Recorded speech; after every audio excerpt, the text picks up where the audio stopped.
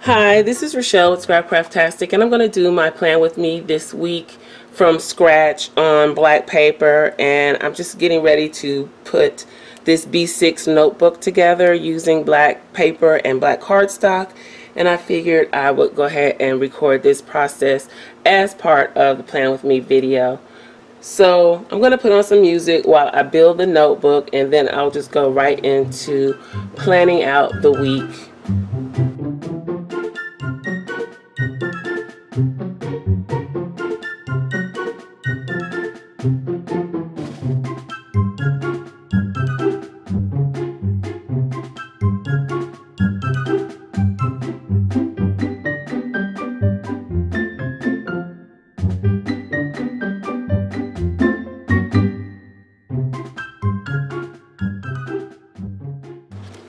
Okay, so now the notebook is built.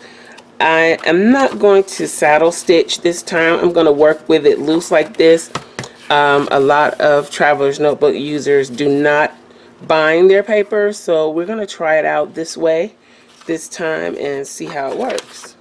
So I used the Michaels 65 pound cardstock for the cover, and then this is a black um, paper that I got from Amazon. I will link both of these papers below in case you're interested in them. And I'm going to go ahead and get started.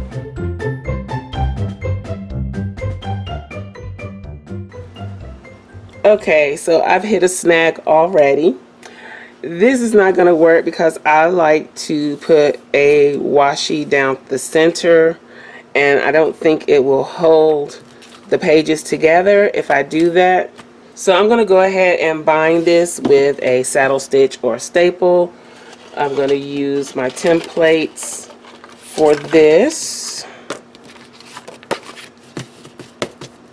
And just mark where my staples go.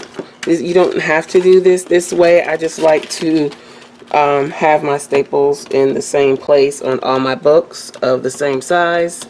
So that is why we use the template so that it can be the same every time. Or, you know, as close as possible.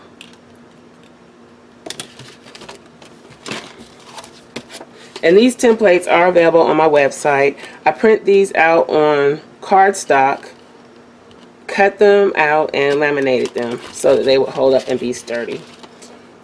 So there's that. Now let's go ahead and put our staples in.